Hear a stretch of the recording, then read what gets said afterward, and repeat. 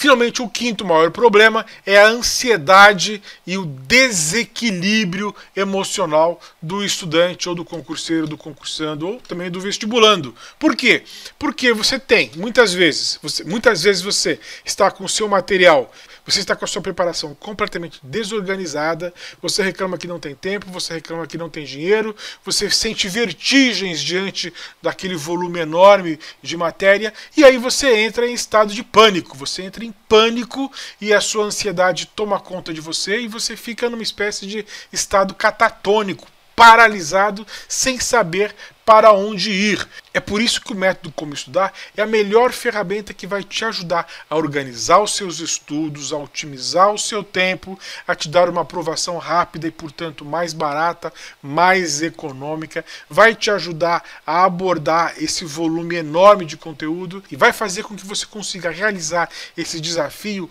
com o mínimo de desgaste emocional possível.